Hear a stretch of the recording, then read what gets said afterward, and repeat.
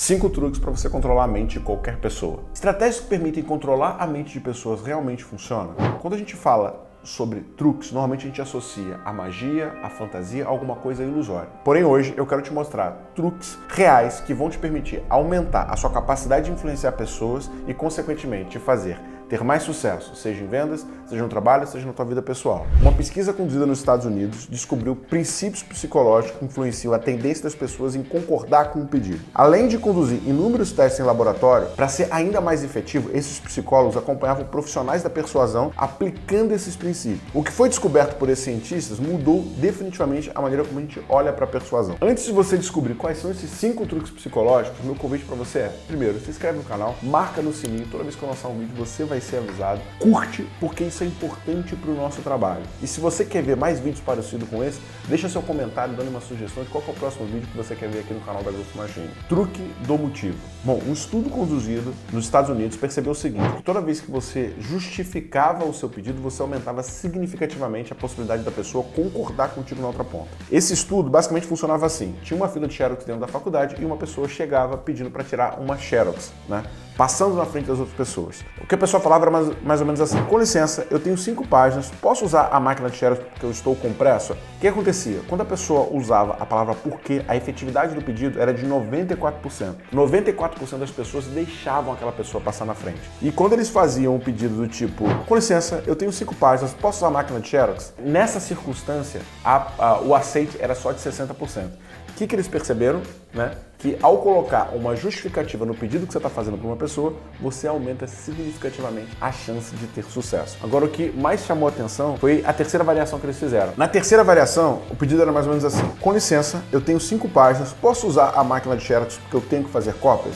O resultado foi que 93% das pessoas toparam. Ele teve uma queda, mas uma queda apenas de 1%. E que mostra o seguinte: não era a justificativa que era dada, e sim a palavra porquê. Agora, como é que você aplica isso no teu dia a dia? Toda vez que você for fazer um pedido, seja em vendas, seja em prospecção, seja na tua vida pessoal, sempre coloque um porquê você está pedindo. A chance da pessoa aceitar na outra ponta vai ser muito maior. Acenam com a cabeça. Esse até parece bobo, mas acontece o seguinte: estudos científicos mostram que quando você faz um pedido para uma outra pessoa acenando com a cabeça, a tendência é que ela repita esse movimento e, consequentemente, ela tende a concordar mais contigo. Esse estudo mostra que uma parte do cérebro que é responsável pela decisão também segue princípios físicos e, consequentemente, aceita mais quando você pede dessa forma. Terceiro truque: fique quieto. Dale Carnegie, no livro Como Fazer Amigos e Influenciar Pessoas, explica que você nunca deve discordar de uma pessoa. No lugar disso, apenas escute e fique quieto. Deixe essa pessoa falar. Uma outra técnica que pode te ajudar bastante é uma técnica criada por Ryan Bazigan e Marshall Fritz, que consiste em ouvir o que a pessoa tem a dizer sem discutir. Depois disso, você tenta entender o que a pessoa sente e fala para ela, argumentando com algo incomum com o que ela disse, mas só fazendo essa afirmação. Isso faz com que a pessoa se torne mais suscetível a te ouvir, da forma que você possa corrigi-la, sem criar um conflito ou quebrar, fazendo com que ela crie empatia com você. Quarto truque, escuta reflexiva. Esse é um dos truques mais eficientes. Quando você estiver conversando com uma outra pessoa e precisar convencer ela de qualquer coisa, preste muita atenção no que ela está falando e quando você for contra-argumentar ou discutir, traga parte do discurso dela para a tua fala. Então você vai apenas escutar e depois você vai contra-argumentar. Estudos recentes mostram que terapeutas usam muito a escuta reflexiva, mas o paciente tende a revelar as suas maiores emoções. Em vendas, é fundamental você treinar a tua escuta. Na maior parte do tempo você vai estar tá ouvindo, você não vai estar tá falando. Então deixe o teu cliente contar todos os problemas, todas as objeções, todos os desafios.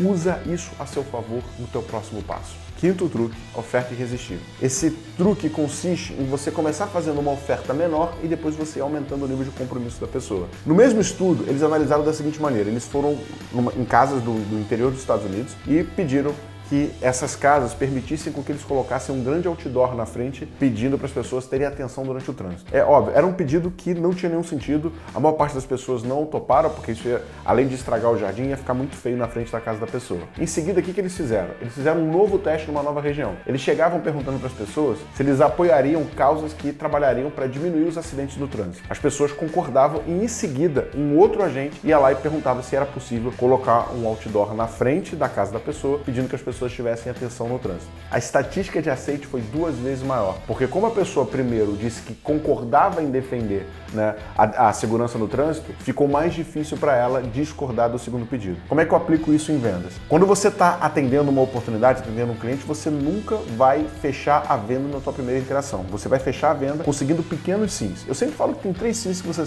sempre tem que conseguir em venda. O primeiro sim é é uma prioridade para você resolver esse problema? O segundo sim, você concorda que essa solução faz sentido para resolver o seu problema? E o terceiro sim, você concorda que a minha empresa tem o melhor custo-benefício, a melhor credibilidade ou é a melhor opção para resolver esse problema? Se você conseguir pequenos sims, a sua chance de fechar uma venda é muito maior. Agora me conta, você já usou algum desses cinco truques? Você conhece mais algum truque? Comenta aqui embaixo. Tem alguém que precisa ver esse vídeo? Compartilha com ele.